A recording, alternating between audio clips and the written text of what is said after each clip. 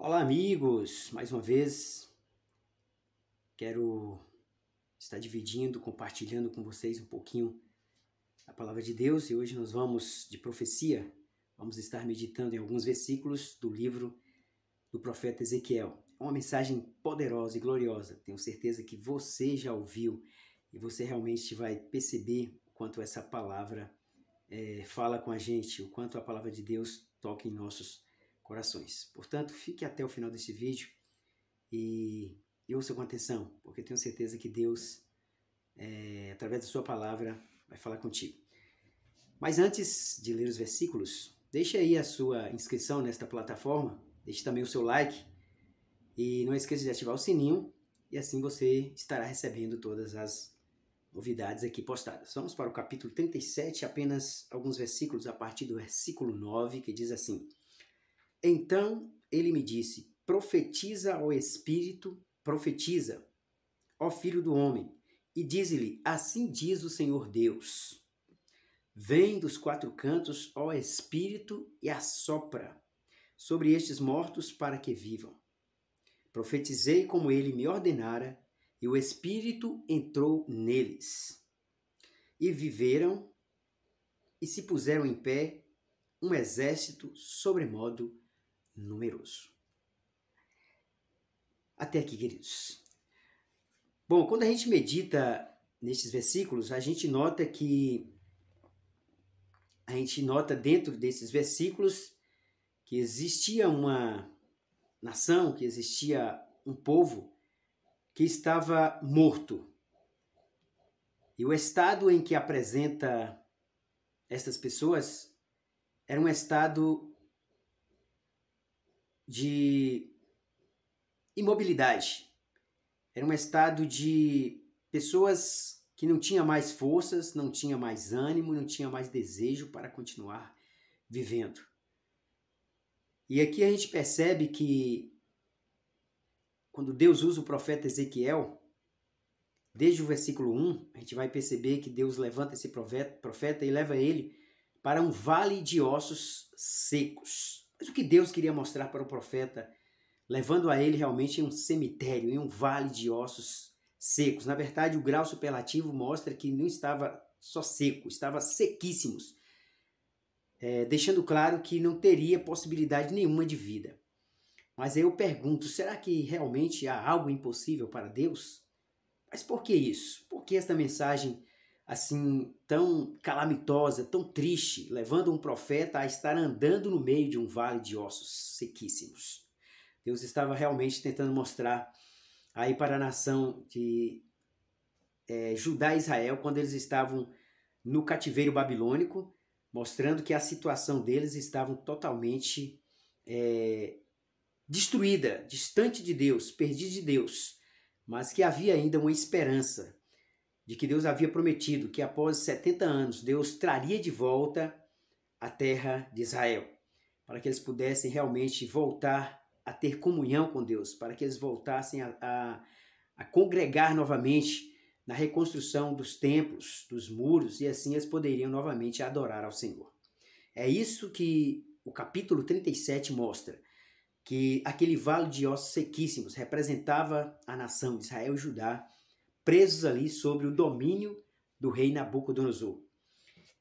E eles estavam totalmente distanciados da presença de Deus devido aos seus pecados, devido realmente à, à idolatria, porque eles estavam distantes de Deus, teriam virado as costas para Deus e Deus realmente para mostrar que Ele é quem domina, Ele é quem controla, é Ele é quem faz todas as coisas.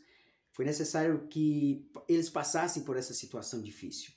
Foi necessário que eles passassem por esse cativeiro, viessem realmente a sofrer um pouco para que eles pudessem perceber que o Deus a quem eles serviam outrora, que estava dando a eles a proteção, a bênção, estava dando realmente o alimento, o suporte, e eles realmente tinham esquecido disso.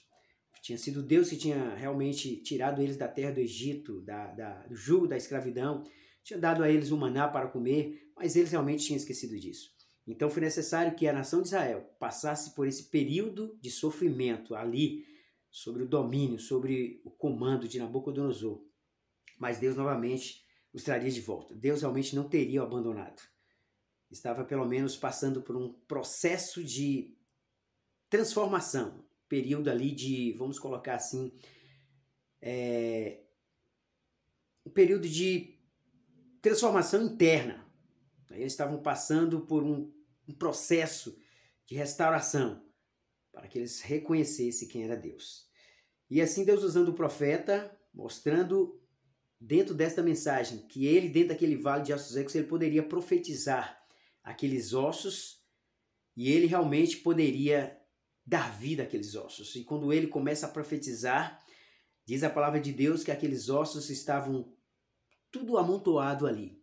E no momento em que ele profetiza, dizendo: Ó ossos secos, ouvi a palavra do Senhor. E quando ele começa a profetizar, diz a palavra do Senhor que aqueles ossos começam a se bater, osso contra osso, e começa a se juntar, cada parte na sua parte, mostrando a reconstituição daqueles ossos formando um corpo. E eles ali começaram realmente a ter realmente nervos, a ter carne e a ter pele. Depois que ele percebe que aquele corpo totalmente agora formado, ainda faltava o espírito para que ele pudesse, para que eles pudessem novamente ter vida.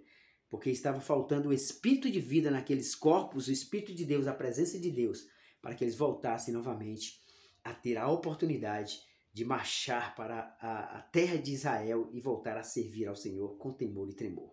E quando novamente nós lemos aqui, Deus novamente usando o profeta Ezequiel para que ele pudesse profetizar mais uma vez e assoprasse neles o Espírito, Deus, para que Deus pudesse assoprar neles o Espírito e eles voltassem a ter vida. E foi isso que aconteceu. Novamente, pela segunda vez, o profeta Ezequiel profetiza aquele, aquele exército ali já vivo, mas sem vida. E o Espírito de Deus volta a penetrar naqueles corpos e eles passam a ter vida. E eles começam realmente a viver. E o versículo 11 diz que aquela nação, aqueles vales de ossos secos, representava a nação de Israel, que estava destruída, distanciada, estava realmente como, como corpos dentro do sepulcro. E Deus novamente dá a eles a vida. Queridos, isso a gente aprende que Deus faz assim também conosco. Tanto eu quanto você vivíamos como vale de ossos secos, distante de Deus, sem vida, sem força. Mas Deus envia a nós o Espírito de Deus através do seu Filho. Envia o seu próprio Filho de Deus para morrer no meu lugar, no seu lugar, nos dando mais uma oportunidade de ter vida, para que pudéssemos novamente a ter uma esperança de voltar para Deus. Porque se a gente notar, nós vivíamos, é, Adão e Eva foi tida a oportunidade de viver eternamente no paraíso, mas devido ao pecado, devido realmente à desobediência de Deus, o pecado passou a toda a nação. E o pecado, consequência do pecado, veio a morte.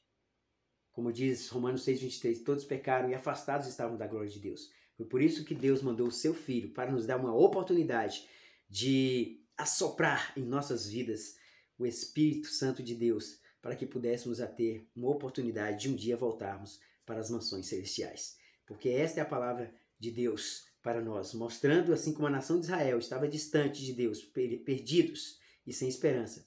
Deus novamente torna a dar esperança para eles, assim como nós. A esperança nossa é Jesus. Saiba disso. Talvez você já tenha crido e aceitado, mas esteja distante do Senhor. Você que está me ouvindo agora, volte para Ele. Não endureçais o seu coração quando ouvides a palavra do Senhor. Não olhe realmente para as dificuldades, porque as lutas podem ser grandes, mas a vitória é certa em Cristo Jesus. Esta é a palavra de hoje. Que Deus te abençoe e nos abençoe mais e mais, em nome de Cristo. Um grande abraço.